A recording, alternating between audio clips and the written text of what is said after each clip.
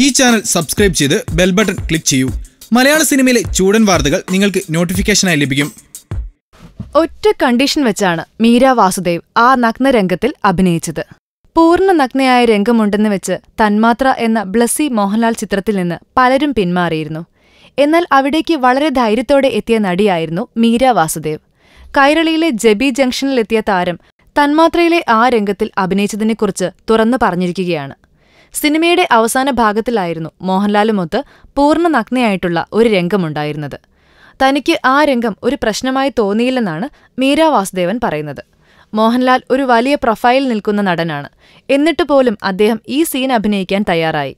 മോഹൻലാൽ സാറിനൊപ്പവും ഈ സീൻ ചെയ്തതിൽ തനിക്ക് സന്തോഷവും അഭിമാനവുമുണ്ടെന്ന് മീര പറഞ്ഞു. കൂടുതൽ ഗോസിപ്പുകൾക്കായി ഈ ചാനൽ സബ്സ്ക്രൈബ് ചെയ്യൂ. Gossip bazaar.